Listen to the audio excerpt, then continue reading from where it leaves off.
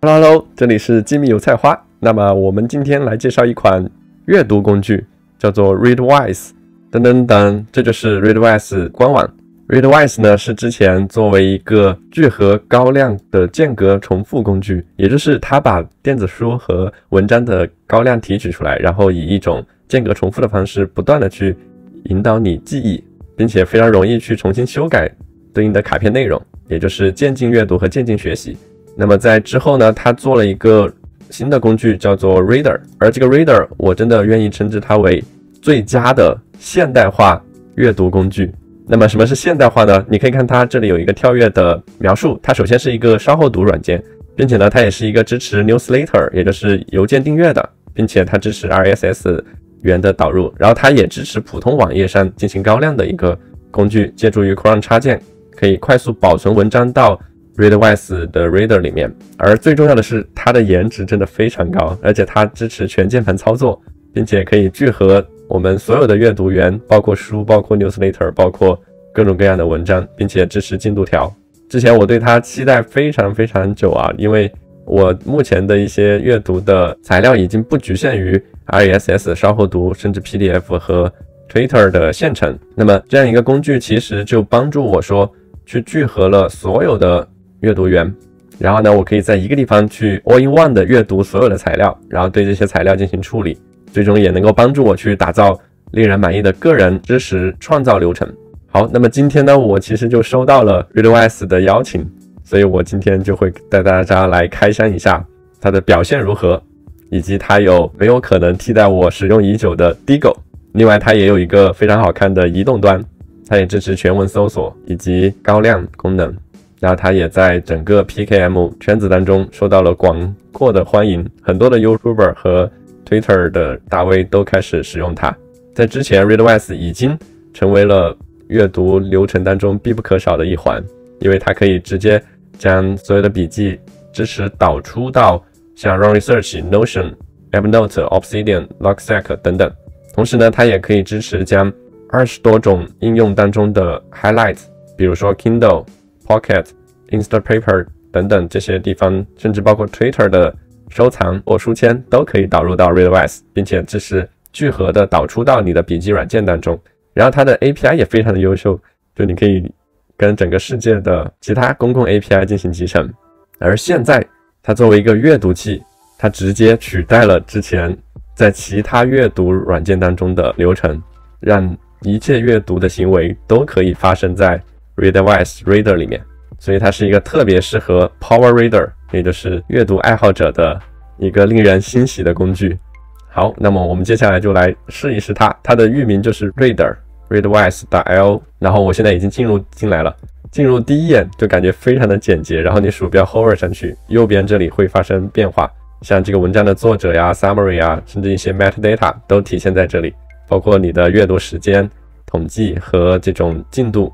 然后它这上面有一个工具栏，可以看到它有把这种 later 把阅读的流程分为 inbox、later 以后以及归档，这边也会有一个 tag 的功能。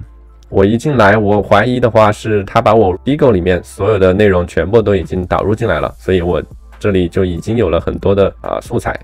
这些文章基本上都是我在 Digo 里面已经收藏过的文章，包括微信公众号。然后这里还会有一个筛选，就是通过作者呀。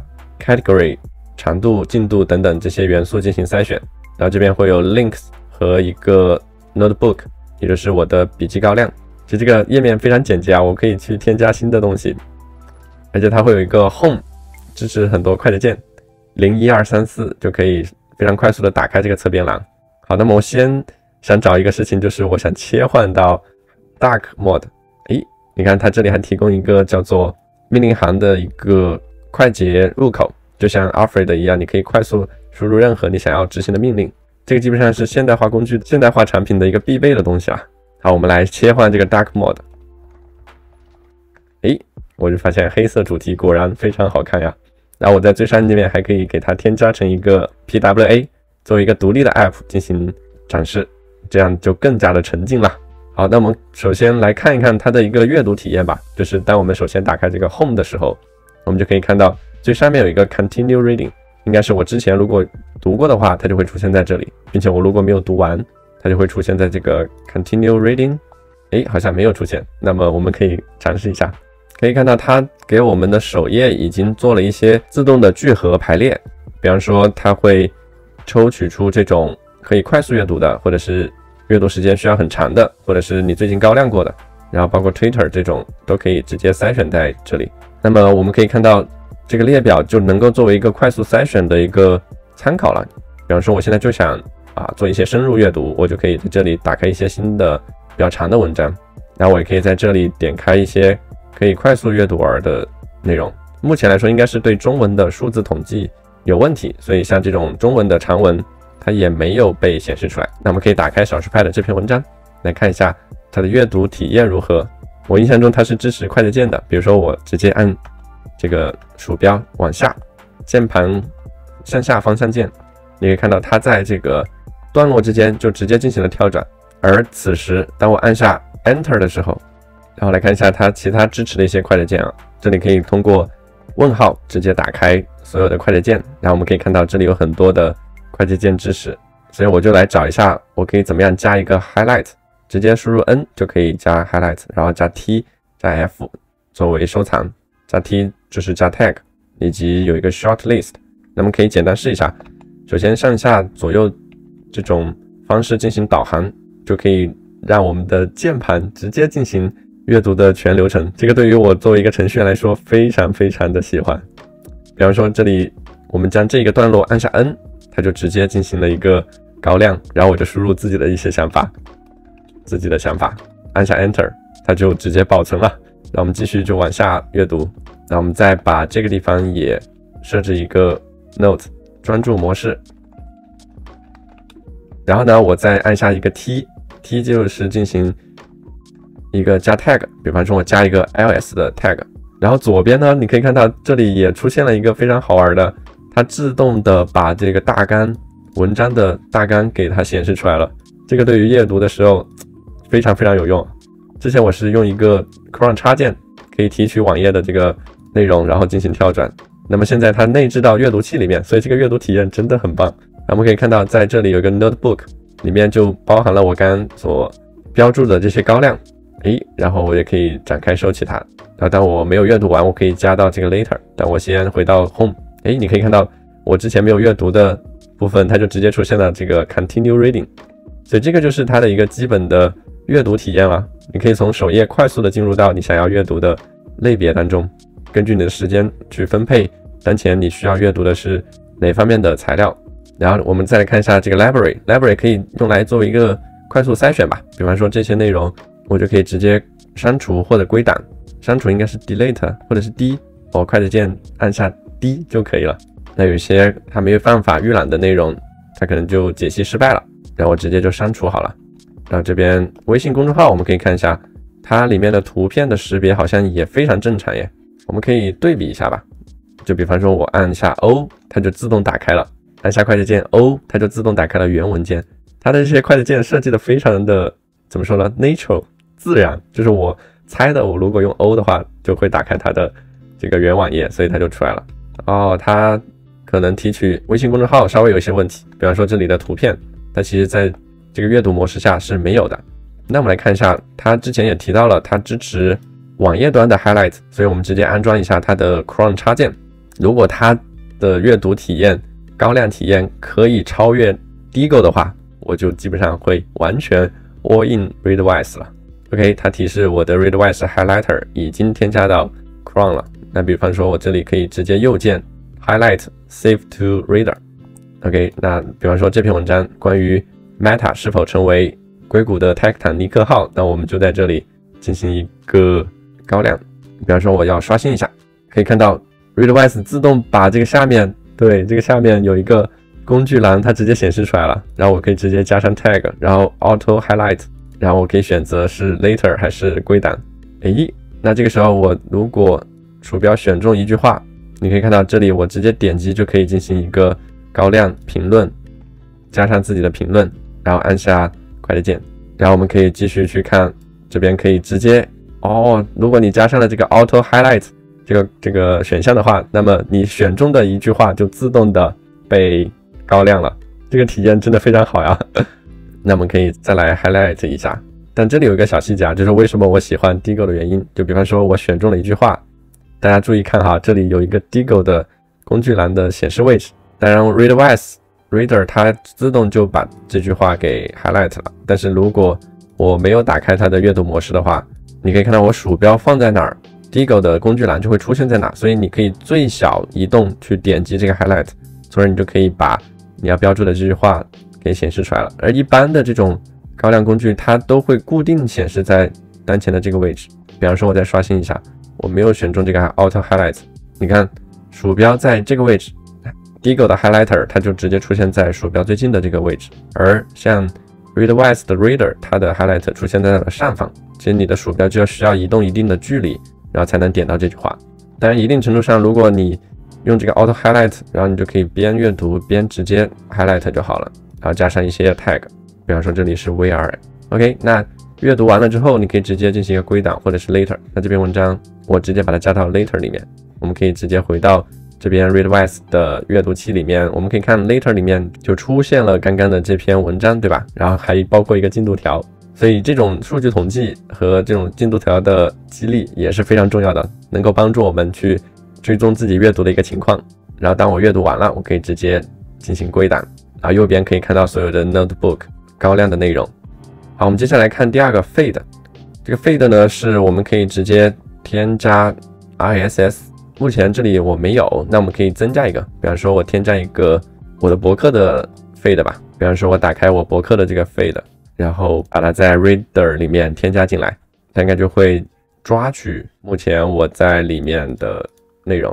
比方说，我之前写的文章少女声音，哎，它就出现了在了这里。但他这个解析好像有点问题哦，不对，他说 You are the first person to read this document，就它需要一些时间来对这篇文章进行解析，所以它应该有一个全局的缓存中心吧，也就是它把这些文章统一储存起来。如果说之前有人已经打开过这篇文章，那么它就自动化的被解析出来了。所以你可以看到我这篇文章里面讲了如何克服效率成瘾的五个药方，它的目录也就直接出现在了这里。我可以直接点击进行跳转，但这里好像有一点 bug 呀。那可以按下 N 对这个内容进行高亮，按下 N，按下 N，所以这种标注体验就非常的棒。然后它也可以按下 J K 对在不同文章之间进行切换，比方说这就切换到我的下一篇文章了。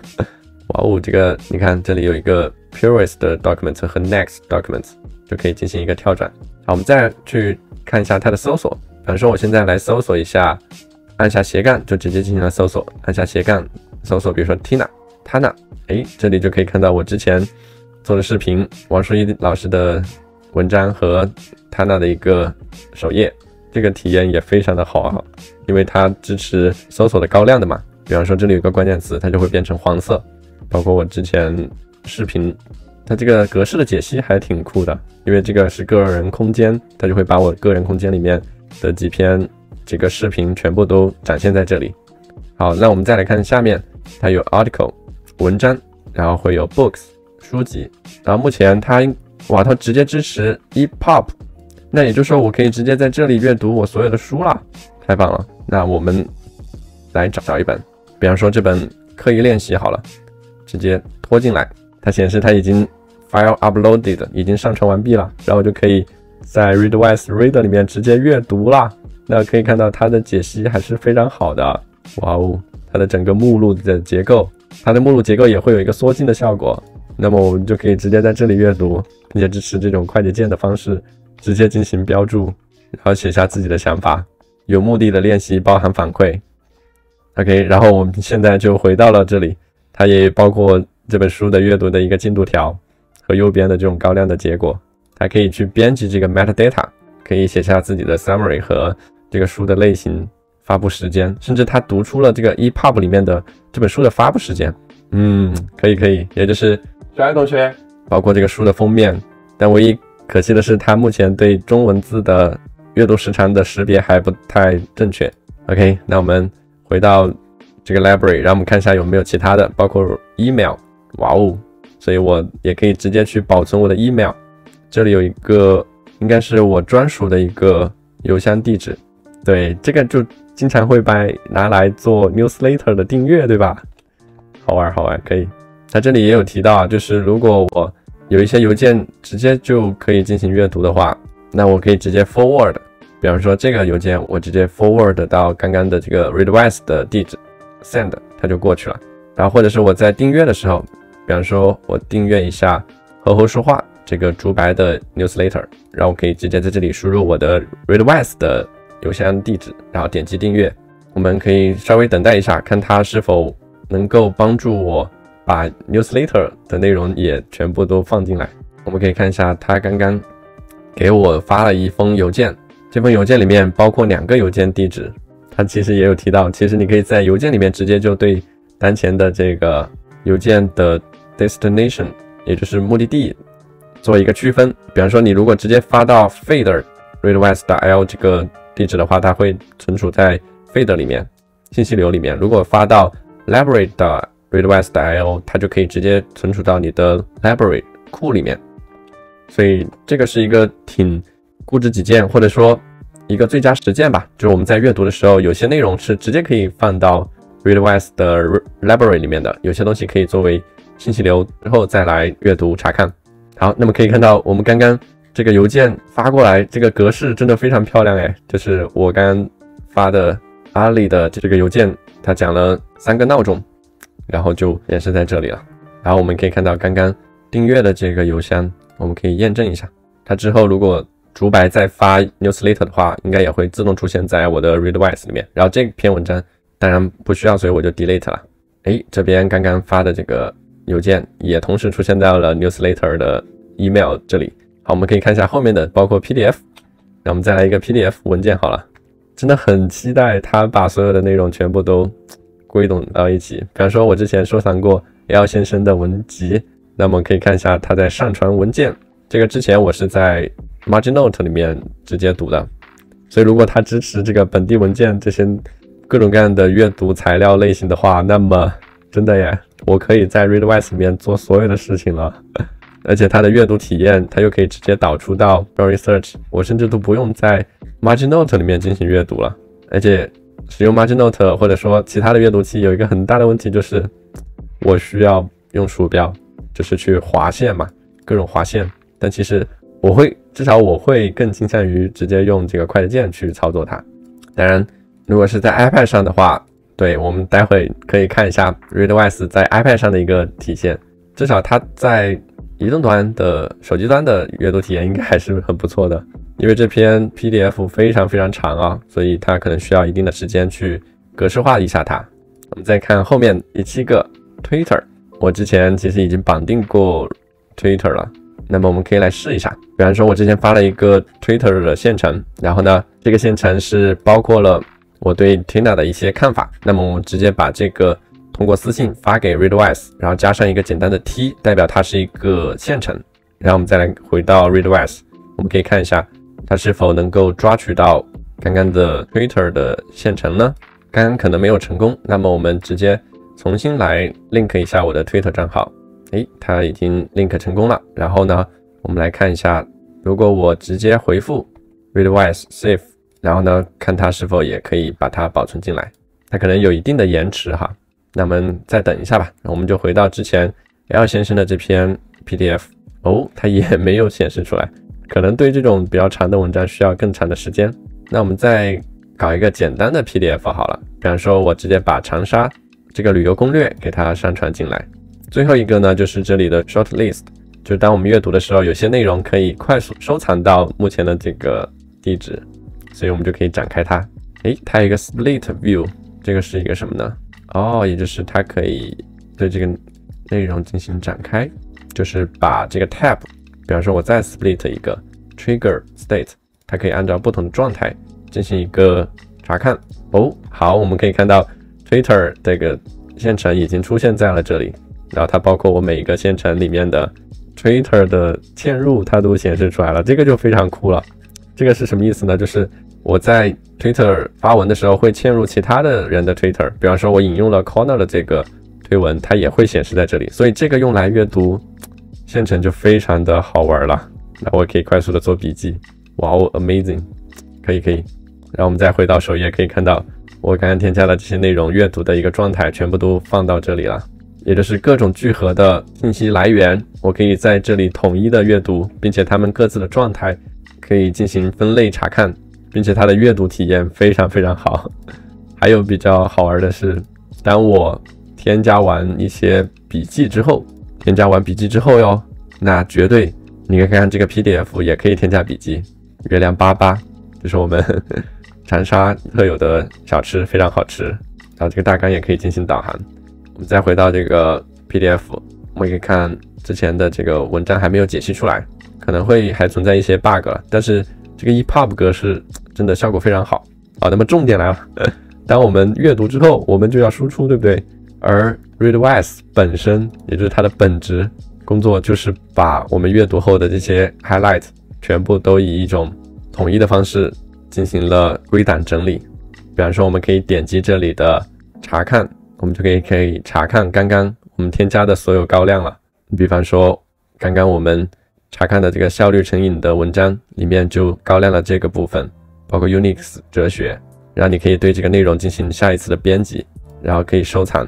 当然，它还可以每天提醒你去 review，也就是 daily review，并且它可以配置每天给你发邮件提醒你间隔重复的去记忆，也可以在桌面 iOS 的桌面小组件上去提醒你去 review。你可以去设置它的 review 频率和 review 的这个内容是什么，并且它这里有一个每日回顾的追踪，这个时候你就可以把之前的一些卡片把它编辑起来，甚至可以挖空去做处理。设置一些 question answer，就跟 Anki 差不太多。然后如果你完成了每天的这种 daily review，它就会统计在这里。然后目前我没有非常的坚持啊，但是我觉得，当我把这些内容全部都在 Readwise 里面阅读之后，我其实是直接导出到了我的 Run Research 里面的。然后我在 Run Research 里面也会设置一个 daily 的 highlight，也就是每天通过这个插件，通过这个 Readwise Daily Quote 的一个。插件，然后呢，它每天都会帮助我插入一条我在 Readwise 里面的 quote，也就是我高亮过的笔记。那这条内容就可以提醒我做一个间隔重复。所以今天我们就介绍了一下为什么我觉得 Readwise 的 Reader 它是最好用的阅读器了。然后另外呢，它真的是一个非常现代化的阅读器，它对阅读的整个流程进行了重新的思考和设计。这篇文章我之前还想翻译来着，就是去谈论一下 Readwise 的 mission 和它做了哪些对阅读流程的改进。总体来说，我觉得它非常 on，然后值得把这篇文章翻译出来给大家看看。另外呢，我觉得它真的是能够去替换我的 Digo 的。我之前在这个春夏秋冬笔记法里面介绍 Digo，它其实是处于一个补货阶段，春天补货这些文章高亮之后，然后把它。在 DevSync 里面进行一个归档整理，所以从这一点上来说，我觉得 Readwise 就基本上把前两部分的这个工作都做了，就是它支持。你看之前为什么我要用 MarginNote 和 DevSync，就是因为本地文件没办法在 Digo 里面阅读啊，也没办法把它的 Highlight 非常方便的规整到一起。那基本上 MarginNote 和 Digo 对文章和文件。的阅读支持都可以被 Readwise 给替代掉了，而且 Digo 本身就要几十刀每年，而 Readwise 它它的价格其实是八美元。我这里是因为我用 Education 账号申请了一下，所以它就只有四美元了，所以真的非常值。而接下来百分之二十最重要的东西其实还是一样的，就是我们要去提炼、输出、表达，就是我们在 Run Research 里面要对我们高亮的这些笔记。进行写作提取，也就是刻意练习的一个思考过程。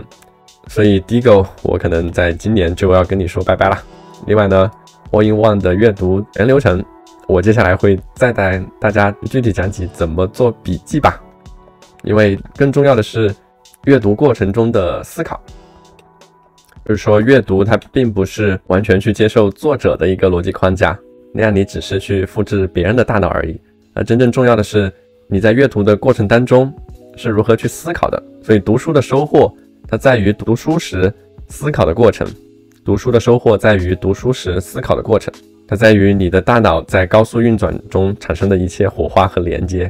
所以更重要的就是你在阅读和学习过程当中想到了什么，想通了什么，思维和作者产生了什么样的碰撞，这些东西才是真正属于你自己的东西。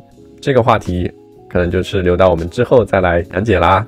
那么我们本期的视频就到这里，非常感谢大家接受我的安利。如果你也在尝试找一款 All-in-One 的阅读软件的话，那么非常推荐 Readwise Reader。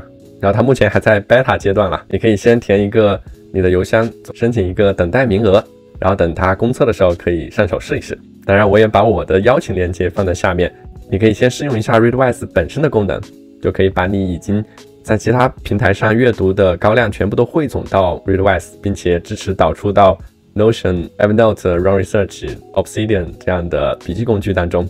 这个链接你可以在评论区找到它。然后，如果你通过这个链接注册的话，你可以获得额外三十天的试用时长。好，那么这期视频到这里，希望给一个三连哦。那么我们下期再见，拜拜。